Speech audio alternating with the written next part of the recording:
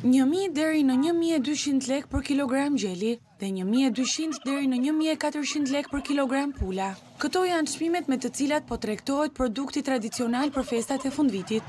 Zona e Cakranit në Bashkinë Fier njihet si një nga prodhuesit kryesor të gjelit të detit në jug të vendit. Mjaft familje të zonës e vijojnë këtë traditë, duke përdorur metodën tradicionale për nxjerrjen dhe rritjen e tyre. Ata shprehen se produkti është cilësor, ndërsa tregu edhe pse herët duket se ka kërkesë.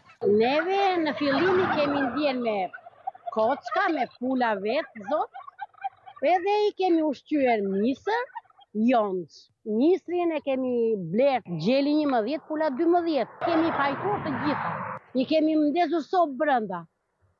Se pa sobë nuk rriten ata se dalin që në janar ata.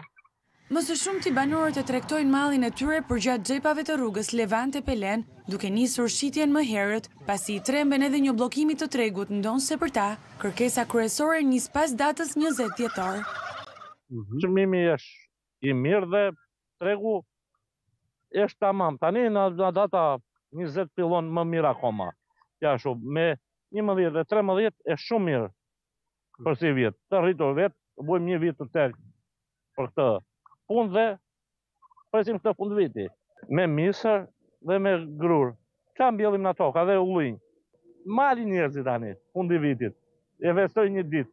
Nuk mungojnë skeptikët për shitjen. Ata thonë se rritja e gjelit të detit ka kosto të lartë dhe mundim, ndaj edhe çmimi i tij ndonëse përflitet si i lartë është i merituar. Në raport me vitin e kaluar ka një rritje me njëqind deri në dyqind lekë për kilogram.